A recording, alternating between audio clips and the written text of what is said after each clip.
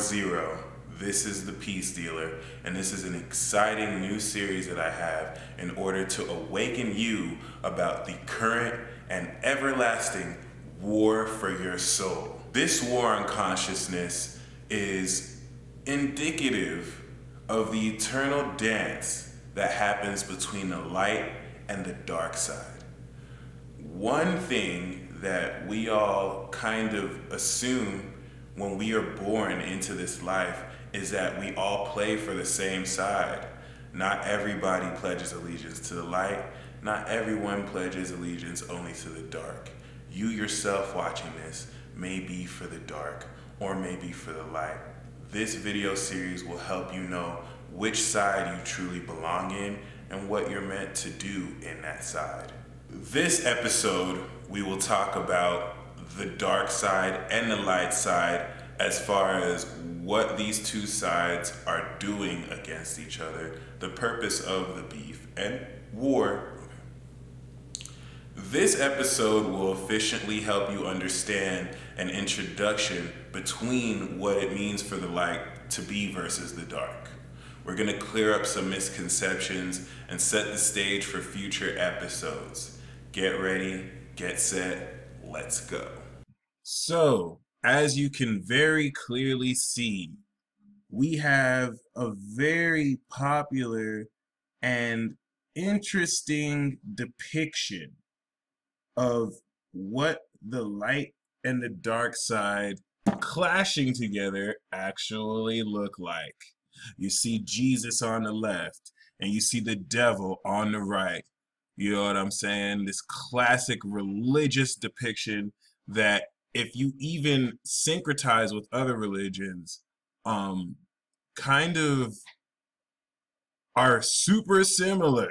Okay, Jesus, of course, representing the light, and the devil. Some call him Satan, some call him Baphomet, some call him Lucifer, representing the dark. Okay, I want you to throw all that out of the window. In fact, the reason why World War Zero is so hard to understand is because of bullshit like this. Okay? We're coming out of the Pisces age. Pisces is all about illusion, lies. Okay? Pisces as a sign itself is not the sign of lying, but when you're not based in the truth, you get susceptible to all illusions. I, the most important thing that I need you to understand about the dark and light is that it is not like this. Okay? This is not some religious war. This is not some, you know what I'm saying, sworn epic battle between light and dark. It is an epic battle, but it's not like this. Okay? It's kind of more like this.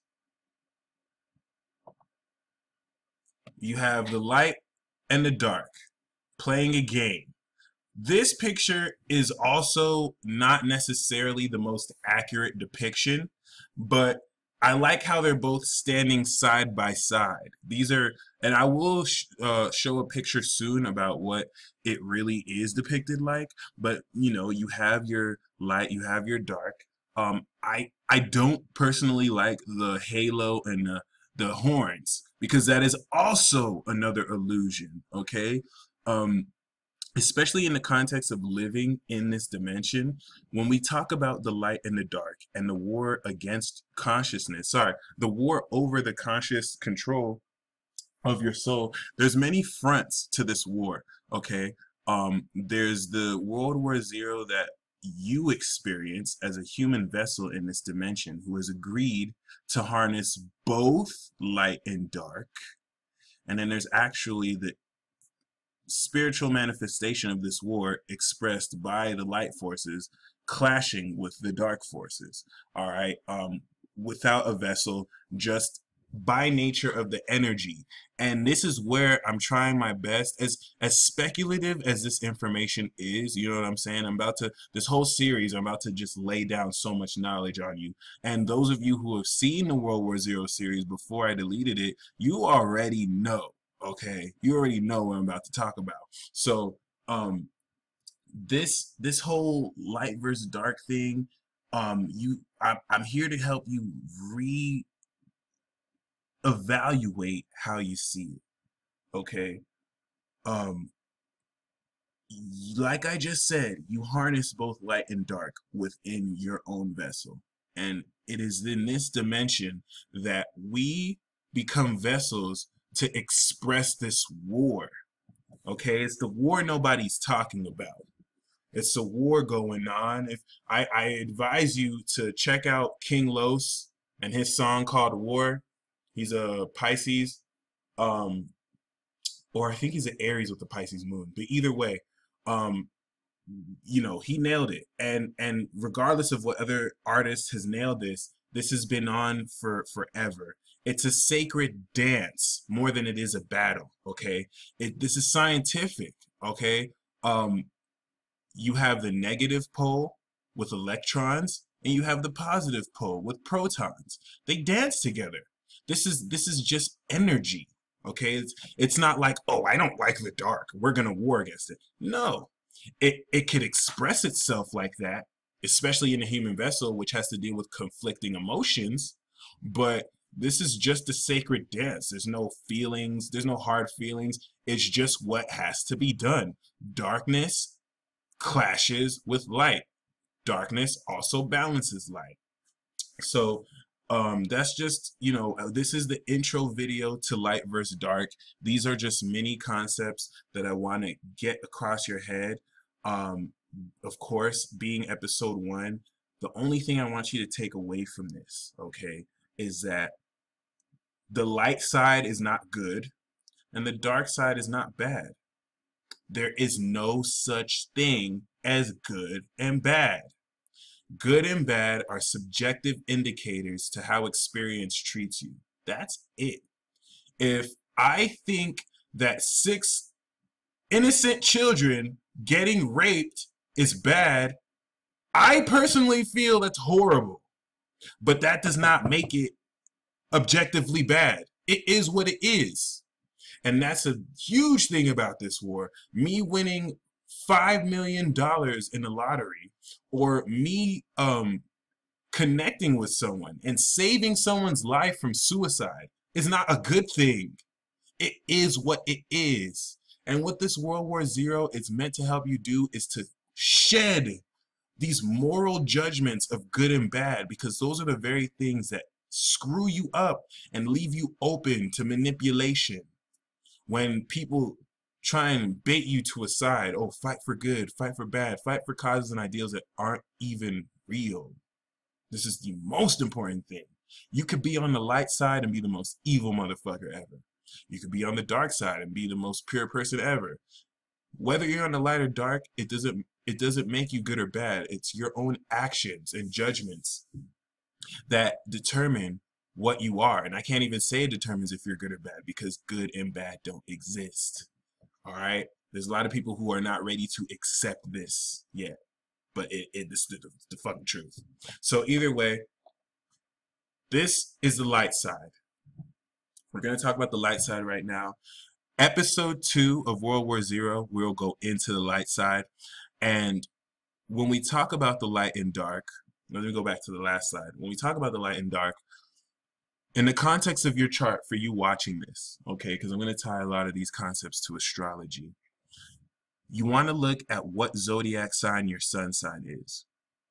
So if your zodiac sign is in Aries, Gemini, Leo, Libra, Sagittarius, or Aquarius, you are the light side period. Regardless of whether your moon sign is in, regardless of whether your north node, your Venus, if your sun is in any of these six signs, you are the light side. Okay? The light side is the beacon of awareness. The light side is what makes conscious understanding and awareness um, be. All right, it's it's the it's the fulcrum of experience. And each of these zodiac signs, as well as houses that they correspond to, give us a different perspective and shade of the light. Aries, of course, being power of identity, the raw spark. Gemini being the truth of the light. The Gemini is the light. Uh, Well, you could also say Leo is actually the source of the light. Do I put that there? Libra is the justice. You know, yeah, you have the truth, the identity, and the love, which is the source of all, but you need the actual justice to enforce this power. Sagittarius being the beliefs and the philosophy of what the truth of life means, and Aquarius being the knowledge that is able to help gain wisdom and understanding of the love that is all around us.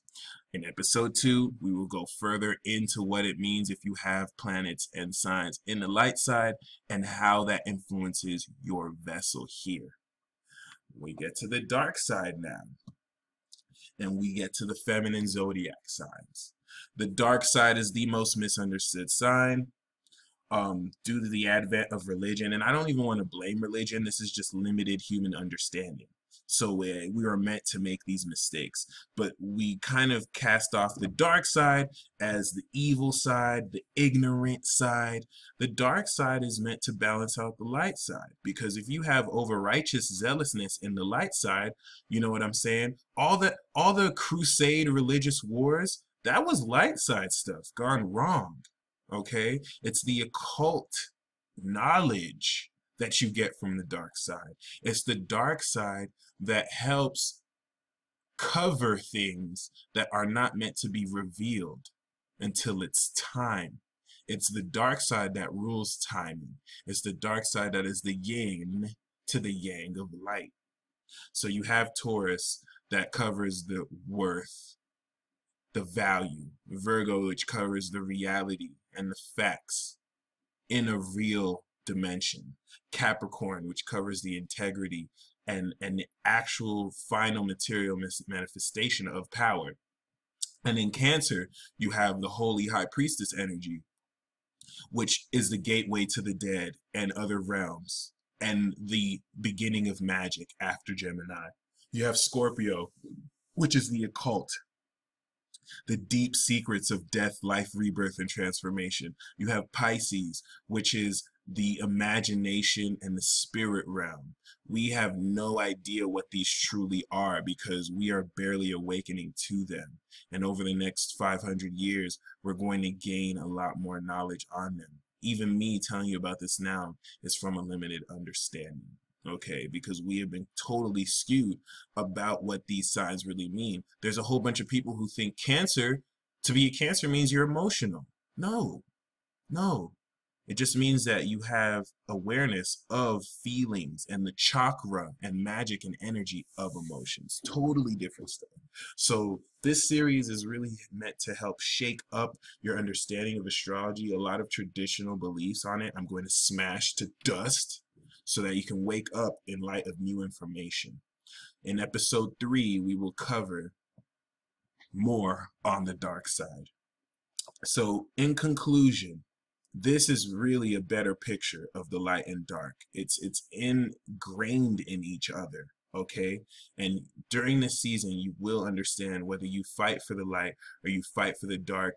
I like to see us like chess pieces, pawns, in this huge game and the person moving your pawn is your higher self all right we can get to the higher per you know philosophy of who's actually playing the game aquarius and pisces but that's a different episode for a different time. This is a sacred dance. Um no one human truly fights for only the light or dark the light or dark works through them. I hope you enjoyed this first episode and until next time. That concludes our introduction to this series. Whether you are on the light side, the dark side, or a double agent, as we will discuss in future episodes, it's important to embrace your role in this war.